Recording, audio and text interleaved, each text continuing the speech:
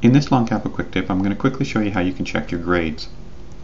If you click on Main Menu, and under Grading and Statistics, click View Current Problem Status and Grading Information.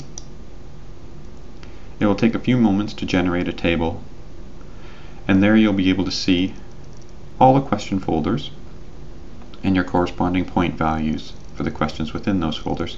So here I've got one question right in section 1.1 to 1.3 and down at the bottom I can see what my point total is out of the course point total.